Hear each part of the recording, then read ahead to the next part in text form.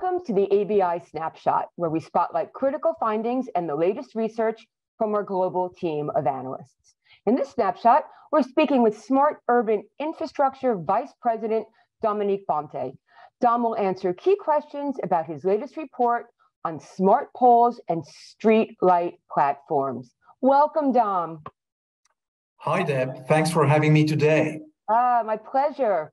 So, your report highlights that smart poles will become a key de- deployment framework for urban infrastructure and will reach an installed base of almost 11 million by 2030. Can you explain?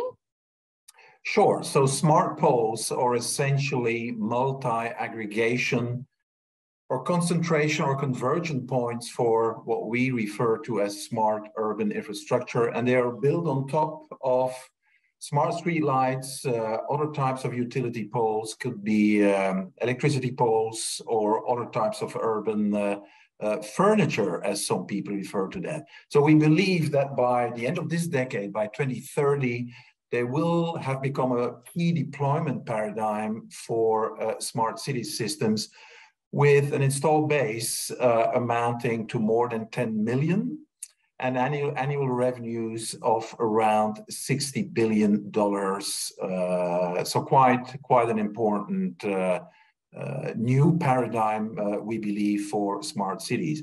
There are similar aggregation points such as smart kiosks and some of the systems you see at intersections and, and junctions, but obviously, you know, streetlights and smart poles are the most ubiquitous form of urban furniture and are as such the ideal platform for deploying uh, smart urban infrastructure.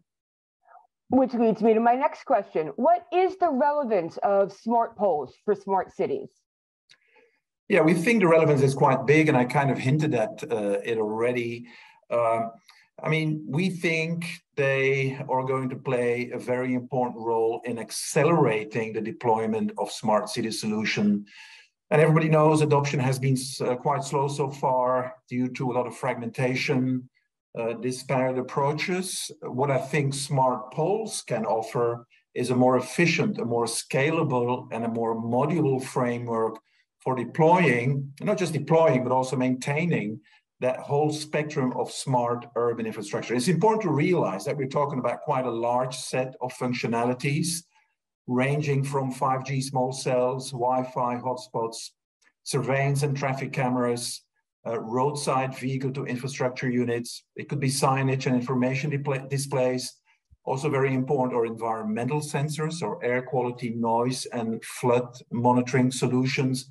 But also, um, very importantly, by the way, charging points for not just uh, regular four-wheel electric vehicles, also for two-wheel vehicles and even for drones. In Seoul, a smart pole uh, solution is being trialed that will allow or accommodate uh, drones landing on a platform uh, to be charged.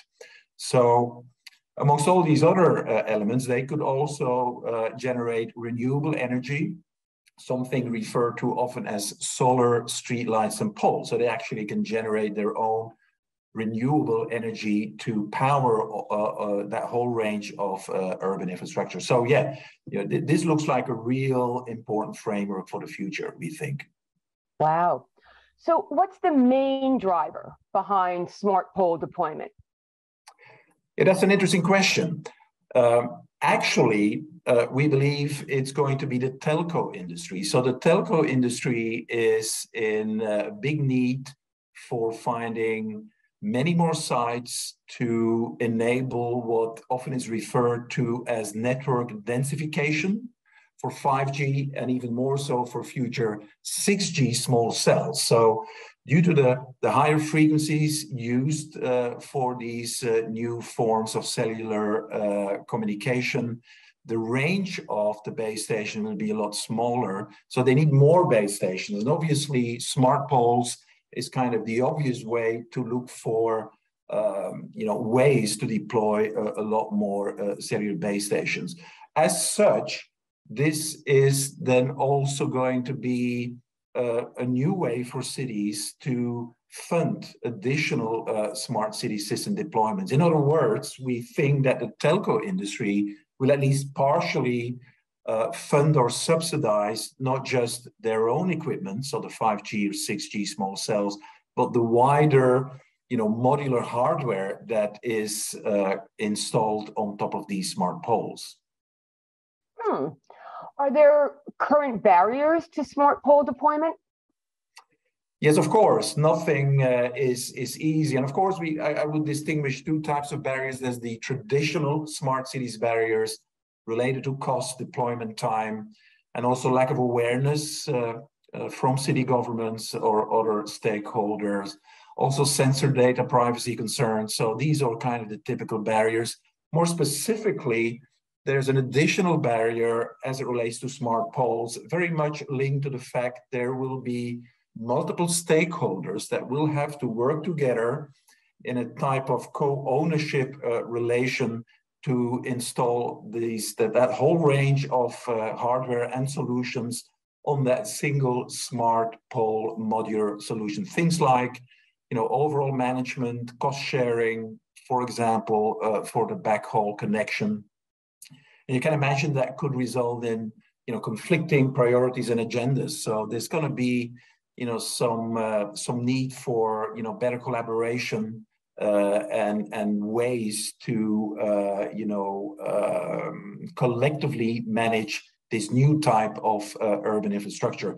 That's by the way the reason why we think that you know, smart poles will only really become significant uh, and ubiquitous by the end of this decade, so around 2030, when all these small issues will be ironed out. Thanks so much, Dom.